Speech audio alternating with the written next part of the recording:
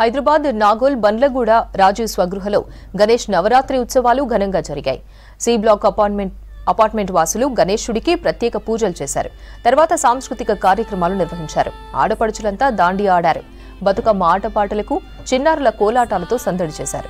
వివిధ ప్రాంతాల నుంచి వచ్చి ఒకే దగ్గర గణేష్ ఉత్సవాలు చేసుకోవడం సంతోషంగా ఉందన్నారు కమిటీ సభ్యులు అపార్ట్మెంట్ వాసులు. అరే కొట్టరా?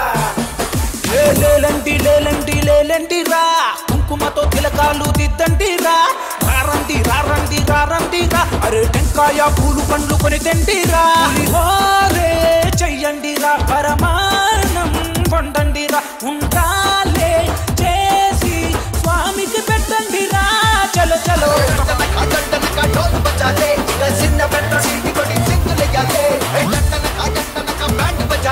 ఈ ఈ లెవెన్ డేస్ కూడా కల్చరల్ యాక్టివిటీస్ నిర్వహించడం జరుగుతుంది. అలాగే మన సి బ్లాక్ ప్రజలందరికీ కూడా ఆ గణేష్ని దయాకృప కలగాలని కోరుకుంటున్నానండి. నవరాత్రులు దేవి నవరాత్రులు అండ్ బతుకమ్మ దసరా ఇవన్నీ కూడా చాలా బాగా జరుపుకుంటామని చెప్పేసి అనుకుంటున్నామండి. ఇప్పుడు ఎనిమిది వందల అరవై నాలుగు ఫ్లాట్లలో దగ్గర దగ్గర ఆరు వందల అరవై ఆరు వందల ఫ్లాట్ల ఓనర్స్ వచ్చారు. ఇక్కడ మేమందరం ఐదు వందల టు ఆరు వందల మంది కలిసి ఎనిమిది టవర్లు ఒకటే గణేషుణ్ణి సి బ్లాక్ అసోసియేషన్ తరఫున భారీ గణేషుణ్ణి ఏర్పాటు చేసుకోవడం జరిగింది.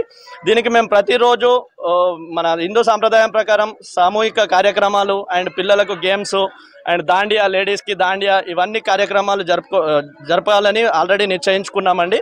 అండ్ అదేవిధంగా లేడీస్కి రంగోలీ అండ్ పిల్లలకు ఆట పోటీల కార్యక్రమాలు ఇవన్నీ జరుపుకుంటున్నాము.